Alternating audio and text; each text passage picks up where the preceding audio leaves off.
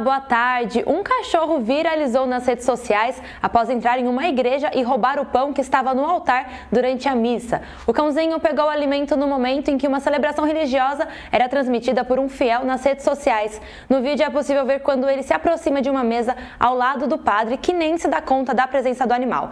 Em seguida, o cão se ergue com cautela e abocanha o alimento sagrado. Depois, foge tranquilamente. Centenas de ciclistas chamaram a atenção na cidade do México, pedalando sem roupa. Foi um protesto para pedir mais espaço entre os carros nas ruas da capital, uma das mais poluídas do mundo. Os participantes pedalaram e marcharam nus por algumas das avenidas mais movimentadas da capital mexicana. Agora imagina, você está na varanda de casa e é surpreendido por uma sucuri com mais de 2 metros de comprimento. O réptil da espécie sucuri amarela matou um frango do morador da casa para se alimentar. Ele capturou a cobra, que não é venenosa, e levou para o quartel da Polícia Militar Ambiental. O morador contou que a residência fica próxima a um córrego da cidade. Isso aconteceu em Bonito, no Mato Grosso do Sul. Um gato ficou com a cabeça presa numa lata de achocolatado em Minas Gerais. Moradores da região fizeram um furo no fundo da lata para que o animal pudesse respirar e depois chamaram os bombeiros para a operação de salvamento. Eles passaram detergente na lata para facilitar o resgate e o gato escapou sem se machucar.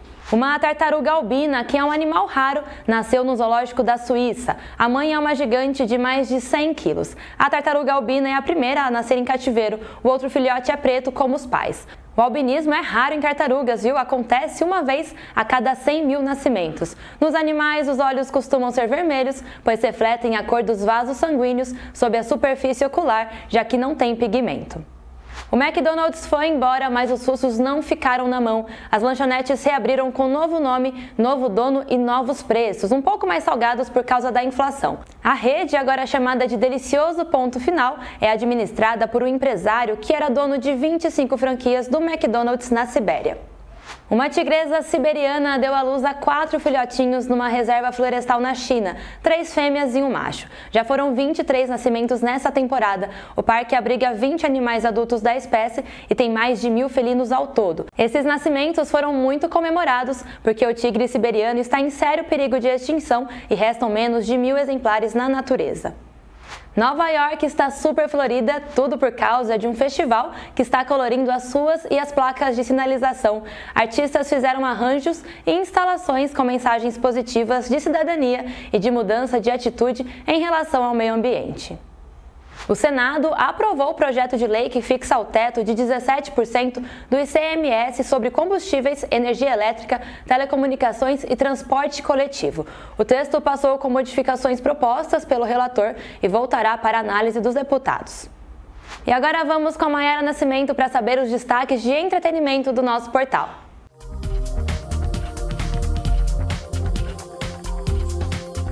O show do KLB finalmente aconteceu. É, eles estrearam a sua nova turnê 20 mais 2 Experience. O show foi super moderno, dinâmico, mas o que mais chamou atenção foi a estrutura audiovisual que estava impecável. Eles cantaram todos os sucessos da carreira do KLB e também contaram com um coral de crianças que chamou bastante atenção também. Fizeram alguns covers de Aerosmith, Michael Jackson, Agora olha só, outra estreia de turnê que também chamou atenção nesse final de semana foi a da Pete e do Nando Reis juntos. Aconteceu lá no Festival João Rock em Ribeirão Preto. Os dois cantaram as músicas um do outro e a Pete até se emocionou no final, disse que foi um momento muito especial para os dois. Agora olha só, essa turnê só começa em agosto, mas os fãs já tiveram um gostinho de quero mais.